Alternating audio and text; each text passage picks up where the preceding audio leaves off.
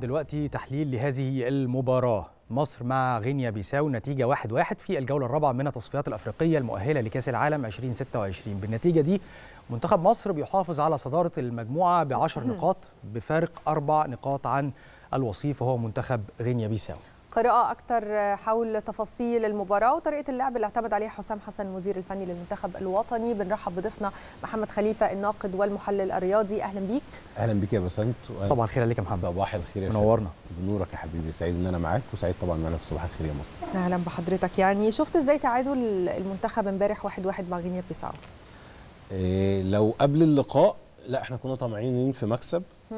ممكن أثناء اللقاء لو بصينا للشوط الأول إيه أداء منتخب مصر كان سلبي جدا إيه فكنا خايفين من سيناريو الهزيمة خاصة إن بوركينا فاسو ما كانتش لسه لعبت مع سيراليون فبدأنا يبقى عندنا مخاوف. الشوط الثاني الشكل اتغير بشكل كبير للأفضل.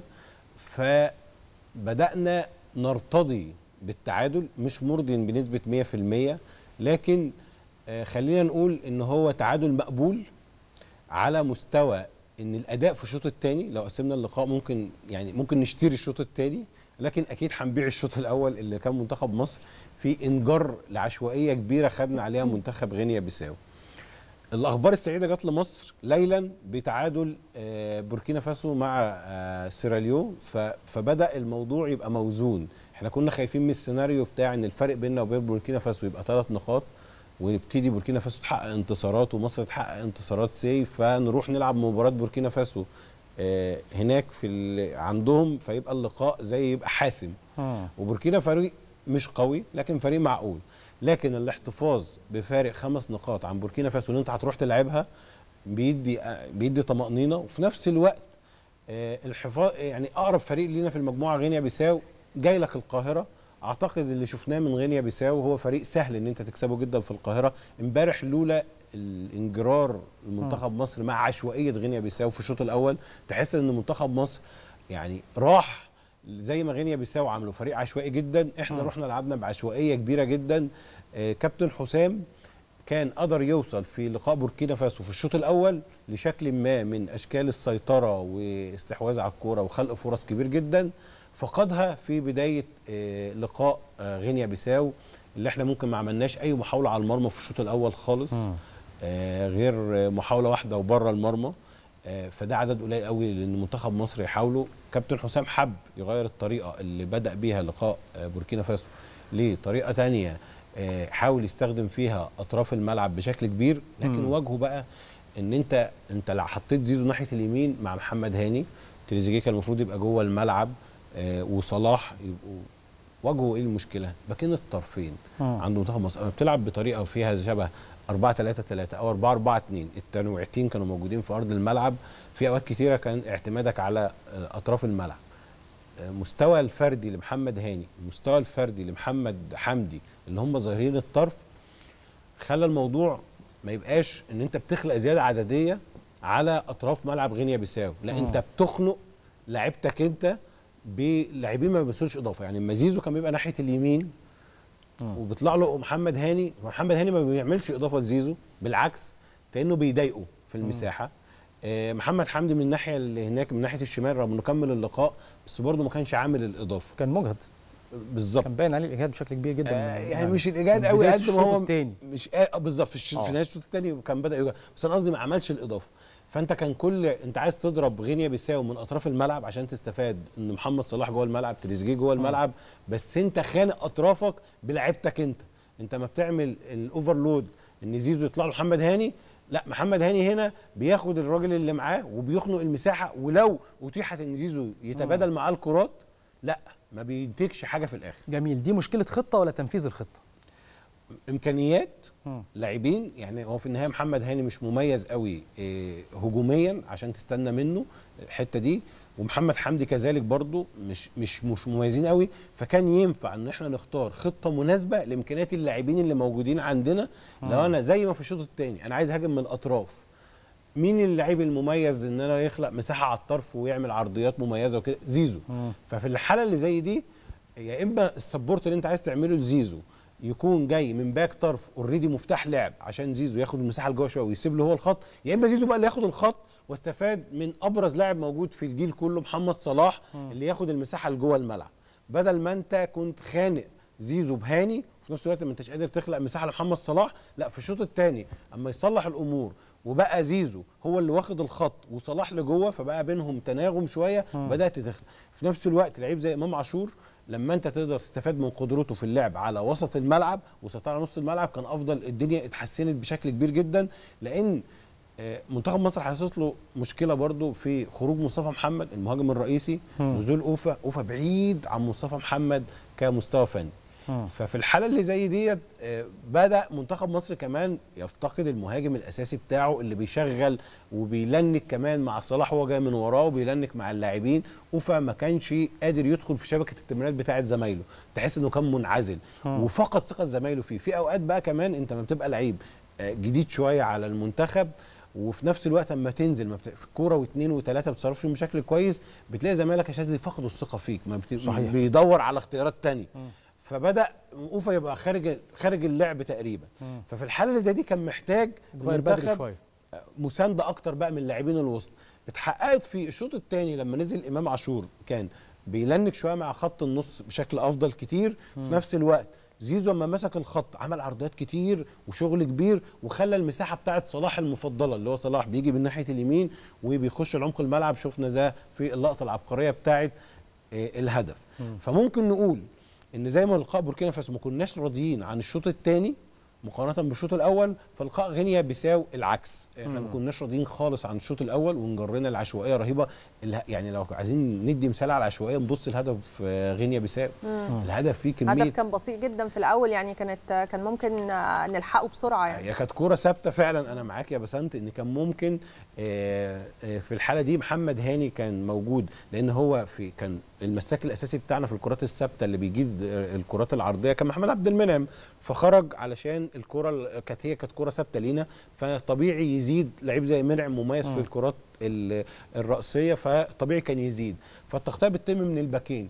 كان محمد هاني ومحمد حمدي. عشان كده يمكن شفنا محمد حمدي اللي هو الظهير الأيسر موجود في لقطة الهدف ناحية اليمين. عشان هي كانت كرة ثابتة فكان. ارتداد بس كان ممكن جدا اللعيب بتاع غينيا بيساو وهو متقدم بالكرة في البداية كان لاعب على ثلاثة. كان ممكن المواجهة المبكرة. في أحيانا اللعيب لما يبقى الهجمة آه، آه، آه، أكتر من لاعب خارجين بالكوره من الفريق المنافس فأنت كظهير أو مساك لعيب في موقف دفاعي تتراجع عشان ما تبيعش نفسك عشان المساحة ما تتضربش وراك. إنما هاني في الوقت اللي هو فضل يتراجع فيه قدام لعيب غينيا بيساو لا كان عنده مساحة للضغط لأنه كان متغطي كويس ولعيب غينيا بيساو كان في موقف واحد على ثلاثة فكان ممكن في الحالة دي نختار المواجهة ون... وزي ما بس أنت بتقول ننهي الهجمة من البداية. لكن إحنا فضلنا قررنا التراجع التراجع التراجع ثم حصلت بقى العشوائية بتاعه إن لعيب غينيا بيساو لما اشترك مع محمد حمدي طبعا لعيب غينيا بيساو الأقوى والأسرع فكان آه، ال- الصراع الالتحام كان ليه. تغطية رامي ربيعة كانت سيئة جدا يعتبر أهداهم الهدف وكان وشه لجونه وما صرفش بالكره بشكل سليم. فالهدف نتج عن عشوائية كبيرة. تديك ملخص الشوط الأول إن إحنا انجرينا للعشوائية دي وما لعبناش بالطريقة المناسبة لمنتخب مصر اللي بيمتلك مهارات أكتر بيمتلك لاعبين ذوي جودة أعلى. يعني هو ممكن غينيا بيساو أبرز اتنين لعيبة كانوا موجودين فيهم هم هو بالدي اللي سجل الهدف لعيب ليون حتى هو مش عامل موسم كويس في ليون ما بيلعبش أغلب الوقت هو كان عامل موسم كويس في الليج 1 اللي هو الدوري الدرجة الثانية level 2 في في فرنسا وبناء عليه اتنقل لليون. بس هو مسيرته مع ليون أغلب الوقت قاعد دكة شارك بس في ثلاث لقاءات بس هو يعتبر أبرز نجوم آه، غينيا بيساو. آه، عايز أقول لك إن تاني أبرز لاعب في غينيا بيساو كان في اللقاء كان جيفرسون إنكادا اللي هو لعيب الدوري المصري في فاركو. يعني مش منتخب مليء بالنجوم ولا مليء بأي حاجة. فأنت أنت كان عندك عناصر أبرز بكتير كان ينفع أنت اللي تفرض رتمك. زي ما إحنا فرضنا رتمنا في الشوط الثاني وعملنا محاولات كتير. بتتكلم على عناصر يمكن طريقة اللعب اللي ابتدى بيها حسام حسن هي 3 3 4 غيرها في الشوط الثاني نفس الفكرة في آه، آه، الماتش اللي فات بدأ بطريقة لعب وغيرها في الشوط الثاني إيه الطريقة الأمثل اللي أنت شايفها اللي حسام حسن يبدأ بيها كل مبارياته ويكمل عليها؟ هو التنوع ما بين 4 3 3 و أو 4 4 2 أو 4 2 3 1 مفيش مفيش عموما دلوقتي فريق في العالم بيلعب بطريقة ثابتة بيبقى فيه ساعات لهم أسلوب مرونة. لكن الطريقة بتتغير حسب سير اللقاء وحسب الأوراق اللي معاك وبيتم استخدام. يعني هي مش المشكلة إن أنت تنوع بين طرق اللعب. هي الفكرة كلها إن كابتن حسام محتاج يحدد العناصر اللي هو هيشتغل معاها وت- وتفيد الخطة بتاعته. يعني أنا لو لعبت بطريقه ما هحتاج فيها أطراف هجومية أنا مش لازم بنفس الفرد اللي هو مناسب لطريقة أنا مش ح... مش هعمل اختراقات من الأطراف وهشتغل على العمق فدي ليها أفراد. لو أنا هشتغل على الأطراف اللي أنا هستخدم الأطراف بشكل هجومي كبير يبقى لها لها أفراد تانيين. يعني مثلا لعيب زي عمر كمال. لو أنا هستخدم طريقة زي إن أنا بلعب بثلاثه ثلاثي في خلف الملعب ثلاثي يعني في خط الدفاع وهستخدم آه، باكات بتزيد وترفع كرات عرضية وحاجة زي كده. فأنا أكيد في الحالة زي دي أكيد واحد زي محمد هاني مش مميز في رسالة الكرات العرضيه هفضل عليه لعيب زي زيزو أو عمر كمال في الطريقة دي. إنما لو أنا هلعب بطريقة تانية أنا عايز أقفل فيها ملعبي وعايز أستخدم عمق الملعب وحاجة زي كده ممكن أدور على محمد هاني. فال- فالمشكلة بس انت أنا قصدي إن هو لازم يدور على الأفراد المناسبين لأسلوب اللعب المناسب عليه. اللي هو لو أنا مستهدف المباراة دي طريقة معينة في التسجيل أو أنا نازل بسيناريو معين في دماغي أنا عايز مثلا أستخدم صلاح في المساحة دي مين اللعيب اللي يقدر يعمل سبورت لصلاح لازم أستخدمه. المنتخب عنده أوراق متنوعة لازم يستخدمها بالشكل المناسب. في طبعا لاعبين كده كده المفترض أي منتخب بيبقى عنده قوام أساسي فيه سبع ثمان لاعبين معروفين وثابتين وفي ورقتين ثلاثة بيتم استخدامهم لما يحب يغير من أنا هاجم الخصم إزاي أفاجئه إزاي في الحتة اللي زي دي. فمحتاجة شوية من كابتن حسام يبقى مركز على اختيار اللاعب المناسب للحاجة اللي هو عايز يطبقها في اللقاء. مش معقول. انت باني خطتك كلها ان أنا هرسل كرات عرضيه لمصطفى محمد بشكل مناسب مثلا عشان هو مميز في الكرات العرضية أو أنا لما اخرج مصطفى محمد وانزل اوف عشان مميز في الكرات العرضية والعب شوط كامل بباكين اطراف مش مميزين في ارسالات الكرات العرضية. فهي الحتة بتاعت آه، طريقة مناسبة لا ممكن ننوع بين طرق اللعب عادي جدا ممكن يستخدم أكتر من طريقة لعب ولكن عليه إن هو دايما يفكر في العنصر اللي لايق مع الطريقة اللي هو هيختارها والأسلوب اللي هو مستهدفه. طيب أوقات كتيرة جدا ممكن يلجأ المدير الفني إلى الشوط من بره أو إننا ندرب اللعيبة كويس قوي على الكرات الثابتة ودي حاجة من الحاجات المهمة بتبقى سيناريو بيتدربوا عليه بنعرف هنشوط الكرة إزاي تتلعب على البعيدة زي الجون اللي جه فينا بالظبط من بوركينا فاسو تترد مرة تانية للجون. هل كابتن حسام درب اللعيبة على حاجة زي دي؟ رغم إن من كابتن خلال حسام رؤيتك طبعا من خلال رغم إن رؤيتك كابتن حسام مميز في التفاصيل دي وبيلعب عليها يعني في مسيرته التدريبية لكن لغاية دلوقتي لا ما شفناش. أنا متفق معاك يا شاذلي جدا. إمبارح جات لنا عدد كبير من الكرات الثابتة. حاولنا في واحدة بس نعمل تركه ما وكانت ممكن بس ما أثمرتش شيء. بقية الكرات الثابتة اتلعبت بشكل سيء سواء من الإرسال أو تمركزات اللاعبين.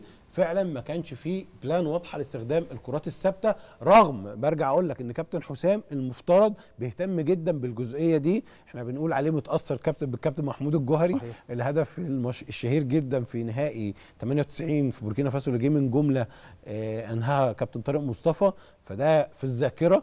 كابتن حسام بيحاول في كل تجاربه التدريبية إن هو يشتغل على كرات ثابته كان في المصري مميز جدا بيلعب الكورنر على القريب ويلعبه على البعيد. يعني كانت الجمل دي عنده يعني هو ما افتقدهاش.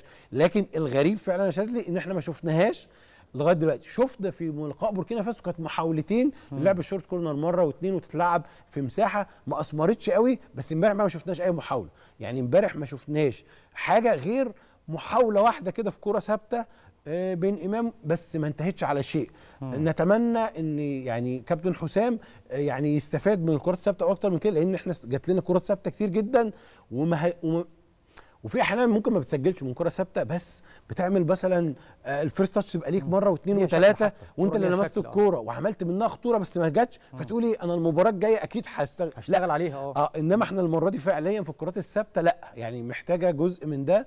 وزي ما بنقول يعني هو الكرة في العالم دلوقتي بتتطور شوية كتير يعني فبدأ يبقى فيه اهتمام بالتفاصيل بشكل كبير شوية.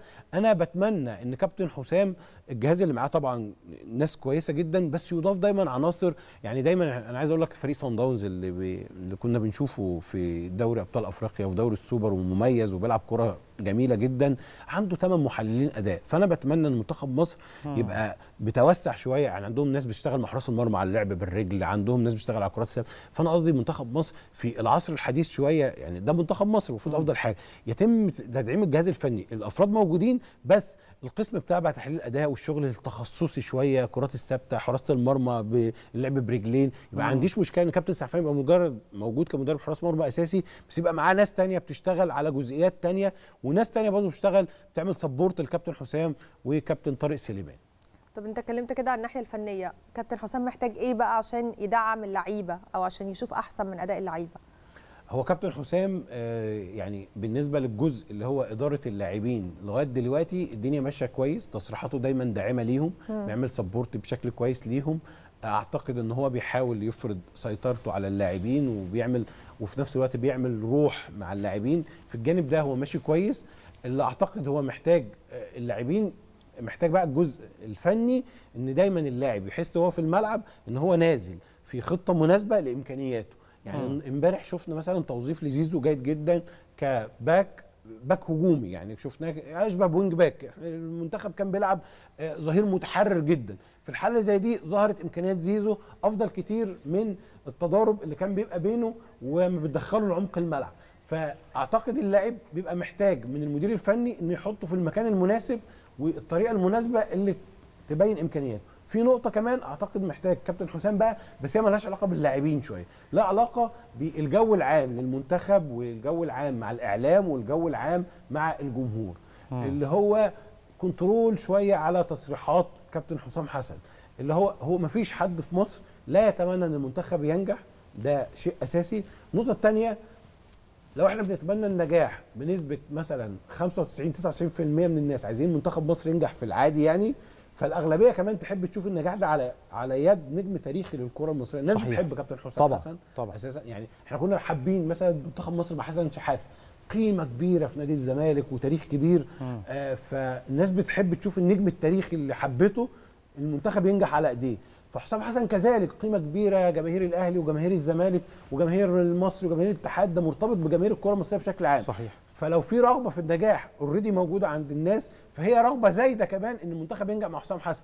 فلو في انتقادات أو في قلق أو في خوف عند الناس فهو الخوف الطبيعي اللي هو خاص بمنتخب مصر. مفيش حد يعني مستهدف كابتن حسام أو متارجت كابتن حسام. فهو لازم يشيل دي من دماغه ويبقى عارف الناس كلها سبورت ليه والناس كلها لو في ناس بتبدي قلق ما على شكل المنتخب على كذا ده فهو خوف مشروع لمصلحة المنتخب في الأول. وفي الآخر هو ده. منتخب مصر كلنا أكيد عايزينه يفوز وأكيد عايزينه يتصدر مجموعته مش بس كده مش بس نتأهل لأ كمان نفوز بكأس ده العالم هو التأهل لكأس العالم يا بسنت ما بقاش آه ما بقاش حلم أنت في تسع منتخبات من أفريقيا بتروح كأس العالم طبعا. وفي لسه فرصة لمنتخب عاشر ف... يعني- فبقى واقع لازم نشتغل عليه يعني. إن شاء الله. نتمنى كل التوفيق لمنتخبنا الوطني. بنشكرك محمد خليفة الناقد والمحلل الرياضي. شكرا ليك يا فندم. ميرسي جدا ليك يا بسنت. وميرسي جدا يا شاذلي. واستمتعت شكراً. ليك. نشكرك.